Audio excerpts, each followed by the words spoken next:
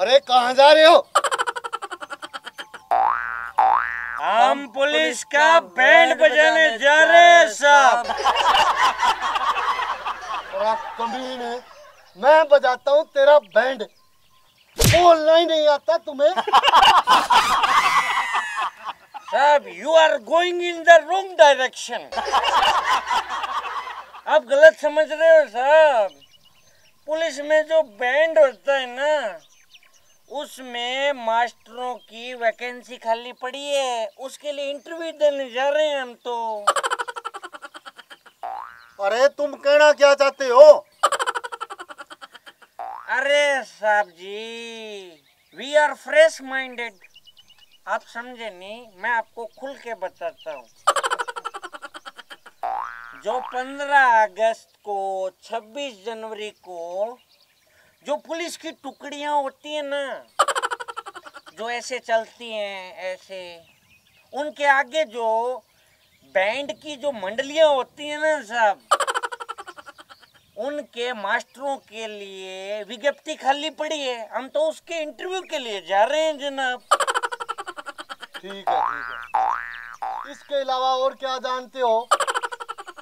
जी हम इसके अलावा लड़ाई झगड़ा भी बहुत करते थे। अरे वो क्यों? अरे साहब एक्चुअली बात ये है हम बचपन से ही बहुत टैलेंटेड हैं। बचपन में ना हम दोनों स्कूल में जाते थे तो बच्चों और टीचर्स के साथ झगड़ा करते थे। और फिर हमने इस कला को बढ़ाया और हम सबके साथ ही झगड़ा करने लगे साहब। तो फिर ढोल वगैरह कब बजाने सीखे हो?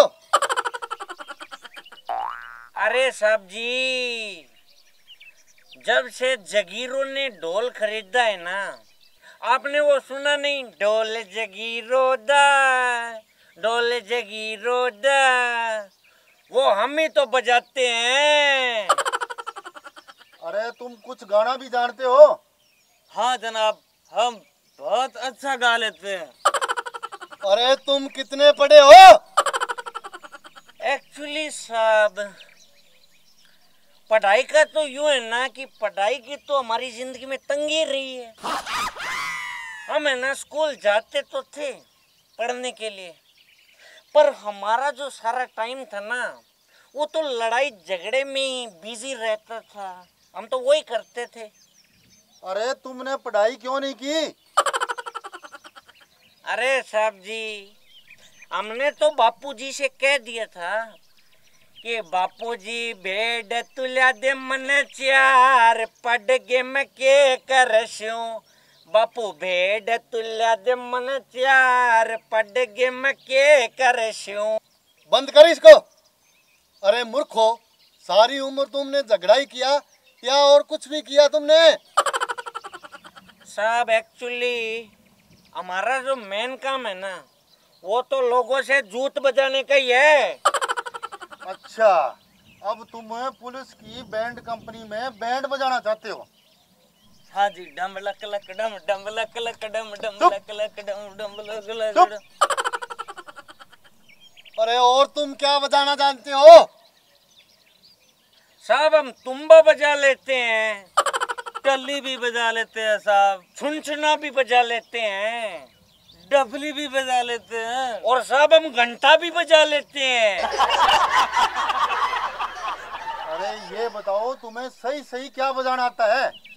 साहब सही सही तो हमें जूत बजाना आता है अरे कमीनो फिर जाओ मैं बजाता हूँ तुम्हारा।